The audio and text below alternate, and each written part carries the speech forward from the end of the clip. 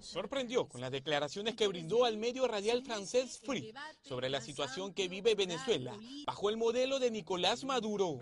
Pero tiene que haber canales institucionales para que el pueblo venezolano se pueda pronunciar. Y uno de esos canales institucionales, este, refrendado, respaldado por la propia Constitución, era el referendo revocatorio, que lamentablemente eh, no se ven condiciones para que se pueda llevar a cabo en estos momentos por la actitud del gobierno. Las palabras de Verónica Mendoza no cayeron bien entre sus correligionarios del Frente Amplio.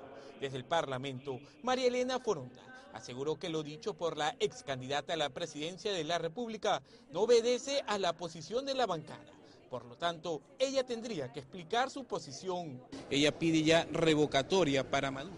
Seguramente yo respeto las opiniones de Verónica y ella tendrá que responder con sus argumentaciones porque esa posición, pero en mi opinión y como representante, como parte de la bancada del Frente Amplio, nosotros somos muy respetuosos de los acuerdos orgánicos que tomamos. Por su parte, Hernando Ceballos recomendó a la lideresa de su agrupación ya no emitir estos comentarios, pues evidencian una clara injerencia en la vida política venezolana. No sé si debería replicarse una revocatoria, ese es un tema que decidirá el pueblo venezolano. Lo que yo quisiera es que se respete la decisión del pueblo venezolano y que esto se lleve en paz. Si la decisión del pueblo venezolano es un cambio de gobierno, o no, es una decisión del pueblo venezolano. Con una visión mucho más crítica, el integrante de la cédula parlamentaria prista Mauricio Mulder expresó que la reciente postura de Verónica Mendoza sobre Nicolás Maduro obedecería a un afán de desvirtuar la atención sobre las críticas que recayeron sobre ella y Marisa Glavi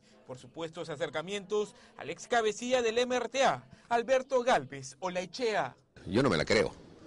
Yo creo que es simplemente una forma de tratar de evadir esa responsabilidad de esa vinculación con el MRTA.